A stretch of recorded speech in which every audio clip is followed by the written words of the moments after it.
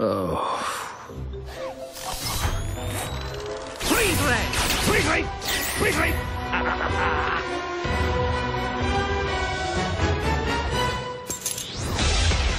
For Gru, being a supervillain isn't easy. We stole the Statue of Liberty! The small one from Las Vegas. He has to control Listen up, please! an army of minions. Dave? He has to outsmart ah, What? a ruthless archenemy. Shrink Ray? No! Oh, I hate that guy. And he's about to inherit Hello? three small problems. You will not cry, or sneeze, or burp, or fart. No annoying sounds. Does this count as annoying? From Universal Pictures, We are going to pull off the true crime of the century. We are going to steal the moon!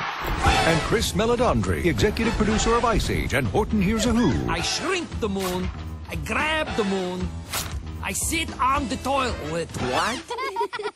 You're funny. No!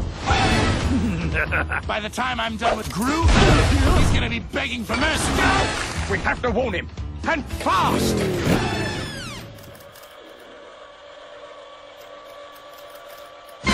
This summer, just because he's a bad guy doesn't mean he's a bad guy. Three little kittens started to yawn. Now make them drink the milk. Wow, this is garbage. You actually like this? Despicable Me.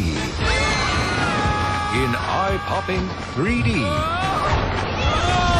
He's so fluffy, I'm gonna die. All you gotta do is knock down that spaceship there. Aww. Oh, somebody's got a frowny face. Okay, my turn.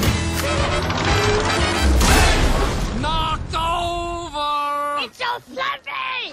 Despicable. Despic. Despic. This. This. Despicable me.